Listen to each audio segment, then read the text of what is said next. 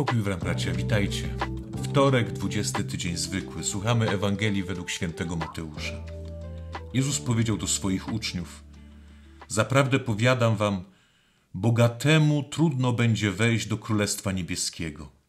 Jeszcze raz wam powiadam, łatwiej jest wielbłądowi przejść przez ucho igielne, niż bogatemu wejść do Królestwa Niebieskiego. Gdy uczniowie to usłyszeli, bardzo się przerazili i pytali, któż więc może być zbawiony? Jezus spojrzał na nich i rzekł: U ludzi to niemożliwe, lecz u Boga wszystko jest możliwe. Wtedy Piotr rzekł do niego: Oto my opuściliśmy wszystko i poszliśmy za Tobą. Cóż więc otrzymamy? Jezus zaś rzekł do nich: Zaprawdę powiadam wam, przy odrodzeniu, gdy Syn Człowieczy zasiądzie na swym tronie chwały, wy, którzy poszliście za mną, zasiądziecie również na dwunastu tronach, aby sądzić dwanaście szczepów Izraela. I każdy, kto dla mego imienia opuści dom, braci, siostry, ojca, matkę, dzieci lub pole, stokroć tyle otrzyma i życie wieczne posiądzie na własność. Wielu zaś pierwszych będzie ostatnimi, a ostatnich pierwszymi. Oto słowo Pańskie. Dzisiejsza Ewangelia rozpoczyna się od tego zdania, które słuchaliśmy wiele, wiele razy. Bogatemu trudno będzie wejść do Królestwa Niebieskiego.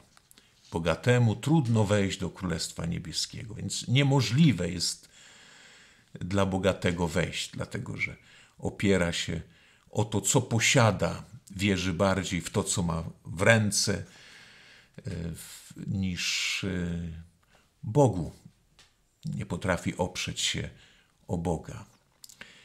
Myślę, że to jest to zdanie, które jest zrozumiałe. Dlatego dzisiaj jakoś zastanawia mnie reakcja uczniów na to słowo. Mianowicie, gdy uczniowie to usłyszeli, bardzo się przerazili bardzo się przerazili. Dlaczego się przerazili? Przecież y, Piotr za chwilę powie: Panie, my opuściliśmy wszystko, poszliśmy za Tobą. Poza tym, jak jeden z ojców mówił: Piotrze, co Ty opuściłeś? Starą łódź, y, rwące się sieci, które musiałeś reperować nieustannie. Co Ty opuściłeś? Z jednej strony nie byli zbyt bogaci, Poza tym opuścili wszystko. Dlaczego się więc tak przerazili? I dlaczego to przerażenie dzisiaj również może bardzo dotknąć nas? Odpowiedzią na to, bracia, dzisiaj dla mnie jest to pierwsze czytanie, to jest powołanie sędziego Gedeona. Jesteśmy, zaczynamy czytać Księgę Sędziów, to jest taki czas w historii Izraela, e, kiedy Izrael jest po śmierci Jozułego, e, próbuje zadamawiać się w tej nowej ziemi, którą, którą otrzymał e, i mieszka pośród siedmiu plemion, które zostały na, na tej ziemi. Pan Bóg zostawił te siedem plemion. Te siedem plemion to jest jak papierek lakmusowy ich wierności Bogu. To słowo mówi, jak, jak czytamy w Księdze Sędziów zaraz na początku, że kiedy oni oddalają się od Boga, zaczynają um, upodabniać się trochę do tych plemion, które, pośród których mieszkają, zaczynają e, służyć ich Bogom, bo wydają się być bardziej atrakcyjni to wtedy tam te plemiona powstają i zaczynają e, uciskać Izraela, prześladować, rabować, e, zabijać. I wtedy Pan Bóg wzbudza sędziów, takich charyzmatycznych przywódców w danym momencie tej historii, poprzez których działa, poprzez których mm, dokonuje wielkich znaków, zwycięstw, wyzwala Izraela spod tego ucisku. I dzisiaj czytamy powołanie jednego z nich, Gedeona i to powołanie jest bardzo takie szczególne i ono dla mnie dzisiaj tłumaczy to, dlaczego bogatym trudno jest wejść i dlaczego e, dla nas dzisiaj, którzy myślę nie jesteśmy bogaci, prawda? Kto z nas jest bogaty? Niewielu jest takich, którzy posiadają nie wiadomo firmy jak Apple, czy, czy IBM, czy jakieś wielkie firmy, które przynoszą ogromne zyski i mówimy, stać nas na wszystko, nie, nie musimy się bać, jesteśmy bogaci. Raczej jak jest, prawda o nas jest taka, jak mówi święty Paweł, niewiele wśród nas jest szlachetnie urodzonych, niewielu bogatych. Ale mimo wszystko możemy być przerażeni. Dzisiaj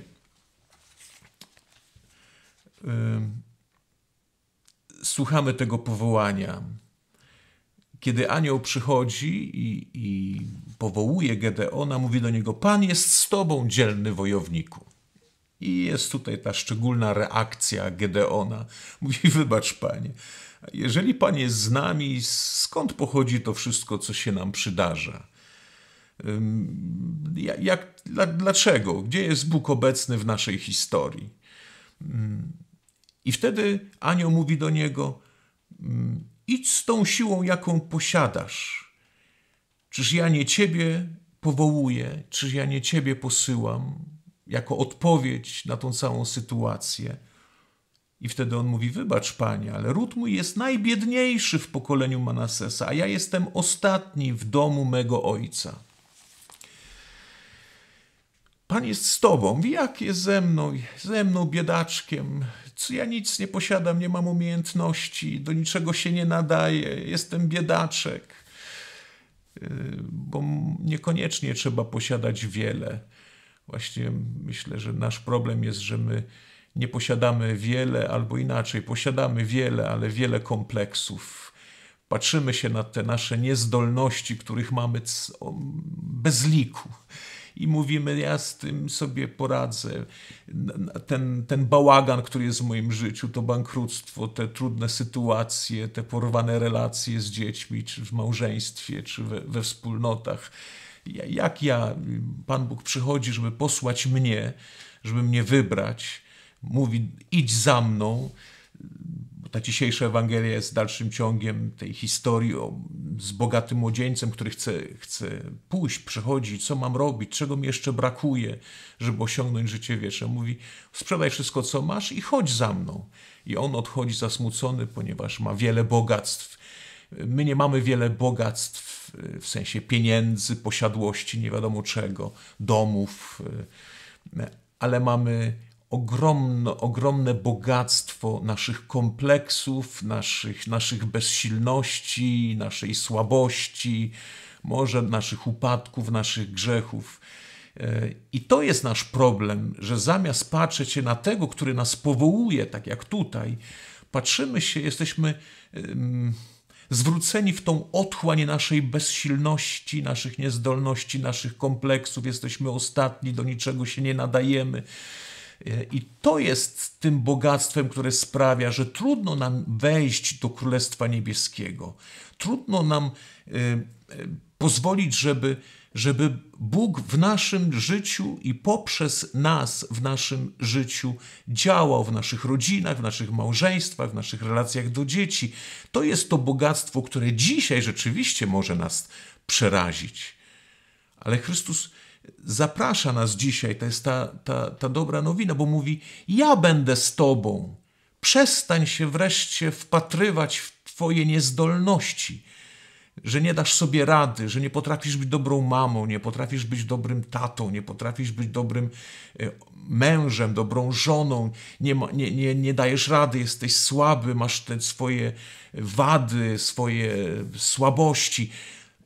Nie patrz się na to Bóg powołuje ciebie takim, jakim jesteś, tym ostatnim, który jesteś i we wspólnocie, w kościele, tym ostatnim, który siada w ostatniej ławce z tyłu, żeby cię nikt nie zauważył, bo do niczego się nie śpiewać nie potrafisz, mówić nie potrafisz, tego nie potrafisz, tamtego nie potrafisz.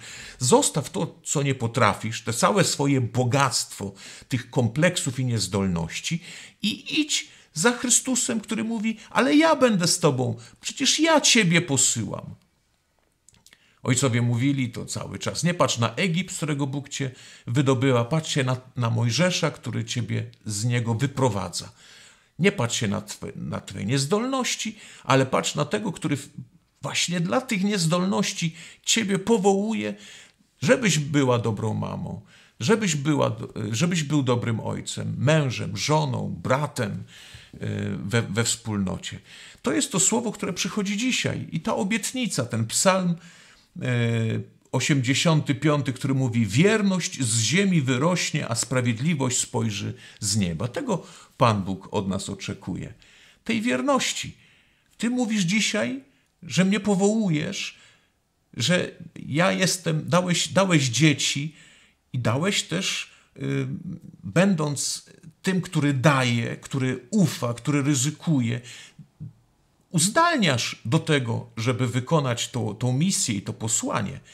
Wobec tego jestem gotowy dzisiaj pójść za Tobą. Dlatego Piotr mówi: Opuściliśmy wszystko, poszliśmy za Tobą. Co z tego mieć będziemy? Nie? Opuszczamy ten nasz sposób wychowywania, żeby Bóg zaczął w nas, na swój sposób wychowywać dzieci. Żeby opuszczamy nasz sposób wchodzenia w relacje małżeńskie, żeby Bóg w nas zaczął wchodzić w te relacje małżeńskie w nowy sposób. Dobra nowina jest taka, że, Gedeon yy, poszedł. I my możemy pójść, bracia. Odwagi, dzisiaj. Sprzedajemy wszystko, co posiadamy, te wszystkie swoje kompleksy, słabości i idziemy za Chrystusem. Dobrego dnia, bracia, pokój Wam. thank you